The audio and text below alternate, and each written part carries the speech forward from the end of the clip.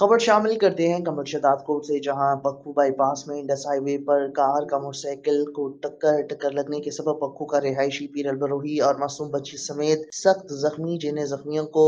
इलाज के लिए वुडसा लाड़काना हॉस्पिटल ले गए और मोटरवे पुलिस भी मौके पर पहुंच गई